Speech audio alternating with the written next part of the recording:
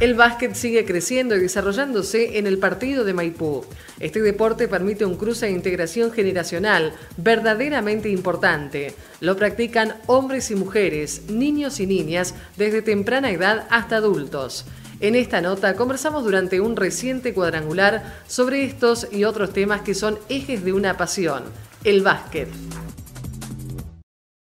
Bueno, este, primero este torneo nos sirve para facilitar un poquito y hacer una pretemporada de los equipos que supuestamente van a,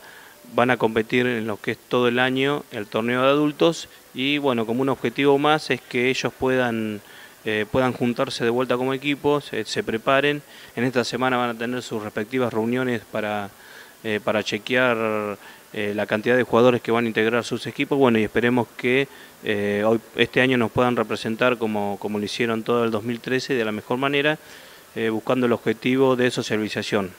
Esto lo que se busca en la Subsecretaría de Deporte hoy es que todos los alumnos mayores o adultos mayores que estén realizando actividades en el municipio lo hagan por una cuestión de placer y de sociabilización y no por el hecho de obtener una copa.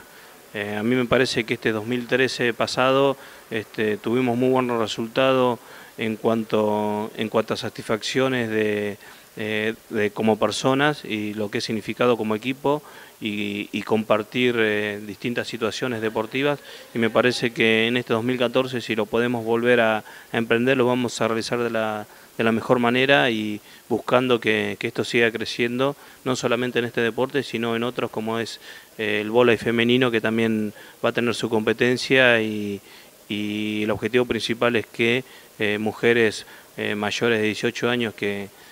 están estudiando, que están trabajando, puedan realizar un deporte que, que, les sirva sacar un salir un poquito de, de lo que es cotidiano para ellos, que es el trabajo.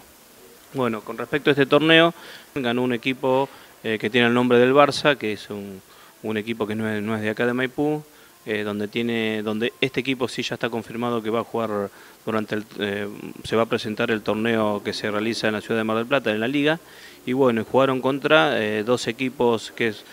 Club Social y Deportivo Unión y y el equipo, eh, el equipo de, la Escuela Municipal de Deporte y un equipo de, uno de los, de los alumnos de la Escuela Municipal de Deporte que, también hizo su, buen desempeño. Y el objetivo es que en los dos equipos de mayores este, se estén preparando para, eh, para poder afrontar lo que es este, una competencia que, nos va a llevar todo el año. Se hizo, bueno, se hizo el torneo de triples, eh, donde lo ganó una, una, persona de acá, un jugador de acá de Maipú, este,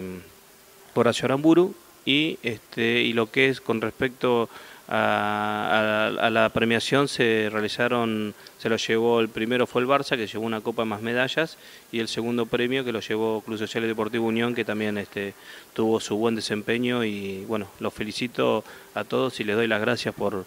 por seguir compartiendo y seguir aportando al deporte, que el deporte significa sociabilizar y,